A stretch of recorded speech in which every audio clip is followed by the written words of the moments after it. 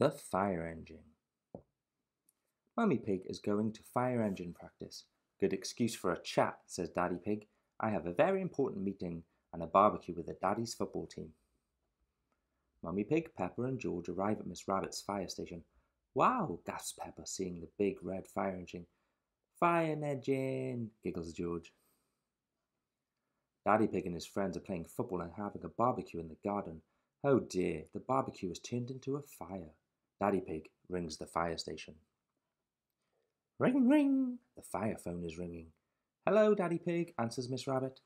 This phone is only for when there's a fire, shouts Daddy Pig. We'll be right there, replies Miss Rabbit. Mummy's to the rescue, cries Miss Rabbit, sliding down the fire pole. Hold tight, cries Mummy Pig. Whee, laughs Peppa. The fire engine is ready to go. Peppa, George, and the mummies soon find the barbecue and get their water hose out.